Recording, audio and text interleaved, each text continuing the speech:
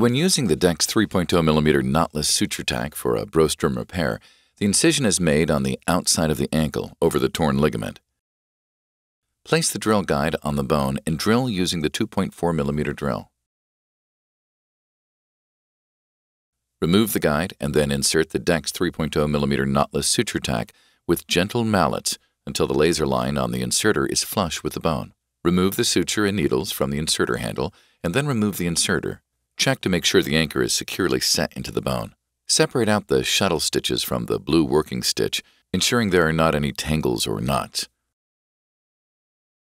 Repeat the steps for the second anchor location.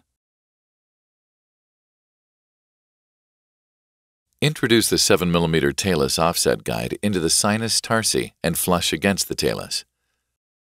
Drill with a 3.4mm drill bit and then tap with a 4.75mm tap.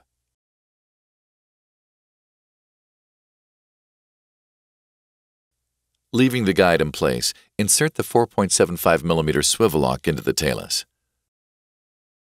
Remove the inserter and the guide. Pass the needle from the blue working stitch from the DX 3.0mm knotless SutureTak through the ligament in a mattress fashion. Once the suture is passed, cut the needle off at the purple marking on the suture closest to the needle. Double over the blue working stitch through the loop end of the shuttling stitch at the purple marking and pinch and hold the sutures. Pull axially on the tape end of the shuttling stitch in line with the anchor using short jigs until the blue working suture and shuttle loop are converted through the anchor. Place the foot in the desired position and continue to pull gently in an axial motion until the desired tension is met.